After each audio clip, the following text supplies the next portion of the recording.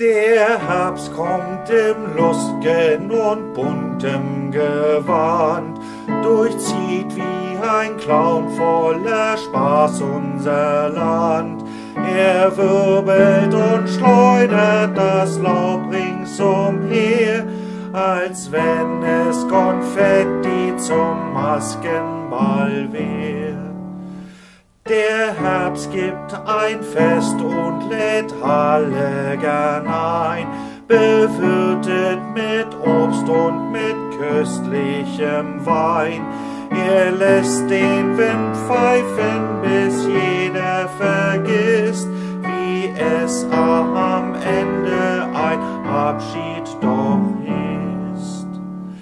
Der Herbst ist Verschwender und keiner wie er füllt andern die Tasche, bis seine ganz leer.